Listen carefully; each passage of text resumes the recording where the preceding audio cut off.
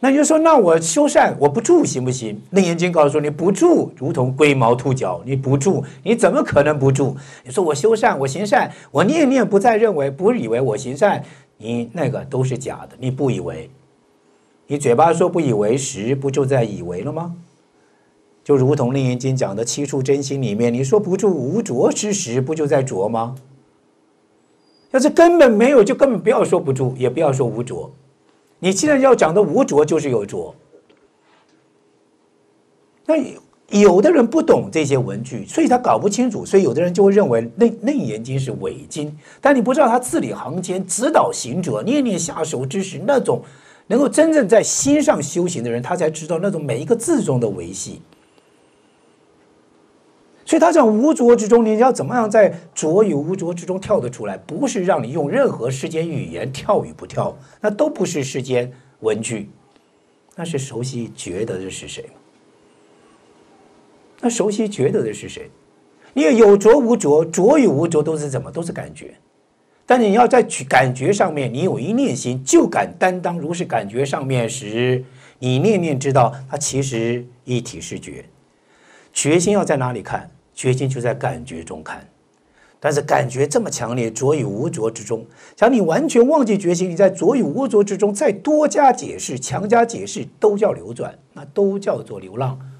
你你，但是你却要在着与无着之中，你不能回避。你再回头观他之时，你要站在决心上体会，那都叫什么？那都叫做当下回光，啊，都叫开智慧的内眼。因为智是怎么写？智者，我常讲这个“智”字，智者从知，从日，日如大照。任何的知，就是任何的念头，任何的知见，要立在日上，就是你不要忘记有一个觉得的大照。你要是忘记了一切能知的是那个但那个日，你所有的知就是流转，那就是感受之中的种种流转。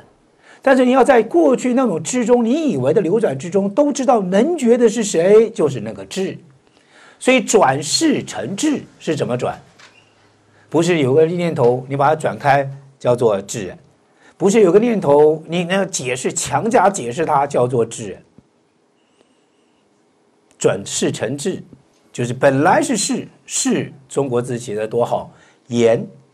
一个言字旁，一个音，一个交割，言音交割就叫意识。但是如何转这个意识？因为任何的言音交割处都不离知，但这个知都是觉心的大日所照之知，那是智。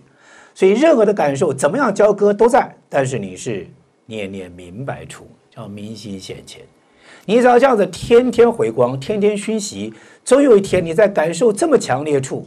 感受的种种造作，过去你以为那种最沉闷处，你以为那种众生的一定流转的那种氛围里面，你突然有一天明心现前，那个明心现前，最初也就是儒家讲的明明德。那个明心现前，可能也是佛门之中讲的出之能所。那个明心现前，就如同观世音菩萨圆通章讲的出一文中入流王所。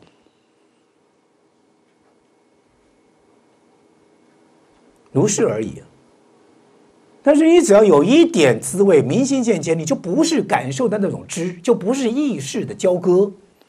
你可以明白如是意识，但你明白处就不是一定流流转嘛。他可以明白，叫做他可以知道变化，但他永远不变嘛。你的心永远不会变嘛。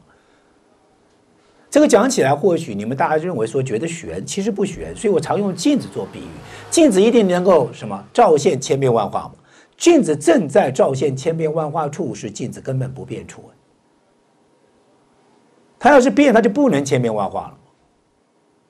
所以决心也一样，它就是能够起成千变万化，它就是起成千变万化处，它从来就是什么？从来就是根本圆清净体处，清明处。他原来根本就是净清净处，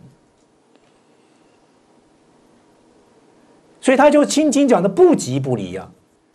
你说他感受，他是感受吗？他不是不急，但他不知道感受吗？不离当下不急不离，你能在不急不离这个当下上这四个字与从此原句，你可能才知道你平常的心在哪里。